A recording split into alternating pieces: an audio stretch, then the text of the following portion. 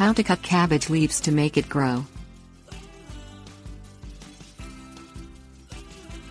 Cabbage is a long-lived food and will keep in the refrigerator for several weeks before spoiling. Before they can be harvested, they must be properly maintained in the soil. To help cabbage grow, remove any leaves or heads that aren't thriving. Cabbage heads are ready to harvest when they are firm and the interior feels dense when the head is squeezed. Soon after the head forms, you must cut the base of the plant from the stem cabbage that is allowed to get overly ripe will split in two. Things you'll need Pruning scissors. Allow the cabbage to blossom.